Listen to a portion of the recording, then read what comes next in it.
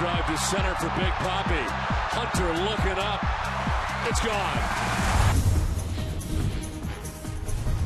I'm Eric Heiss with the MLB.com Fastcast, and that was David Ortiz clubbing a record 270th home run as a DH, moving him ahead of Frank Thomas for the most all time. Dice K back two RBIs from Big Poppy with six scoreless in his return as the Bo Sox beat the Angels 4 to 1.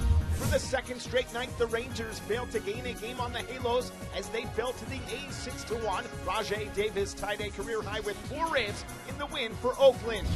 Juan Uribe doubled in two to highlight a four-run third for the Giants, and Barry Zito sat down nine as the Gents beat the Rockies for the second straight night, winning 10-2, shrinking their deficit in the NL card to two and a half games. The Dodgers increased their lead in the NL West to five games thanks to Andre Ethier as he fired out his fourth walk-off home run of the season, carrying the Dodgers over the Pirates 5 to 4 in 13. Cliff Lee threw a shutout for the Phils, sitting down nine as the Titans shrunk their magic number to win the NL East to 12 as they beat the Nationals 5 0. The Jays beat the Yanks 10 4 thanks to two home runs off the bat of Travis Snider. The two teams had a benches clearing brawl in the eighth after Jorge Posada and Jesse Carlson got into a fight near home plate.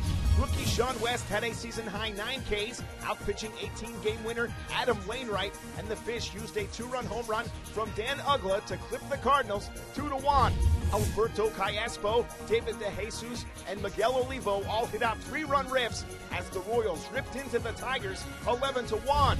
Nick went 3 for 4 with 2 RBI to lead the Twins over the Tribe 5 to 4, moving them four and a half games back of Detroit in the AL Central. Tommy Hanson threw seven scoreless and sat down eight as the Braves shut out the Mets 6 0. The Cubs beat the Brewers 13 to 7. Derrek Lee went 2 for 2 with 3 RBIs in the victory. The Reds got by the Astros 5 to 4 as Paul Janish broke a 4 all tie in the seventh with an RBI double.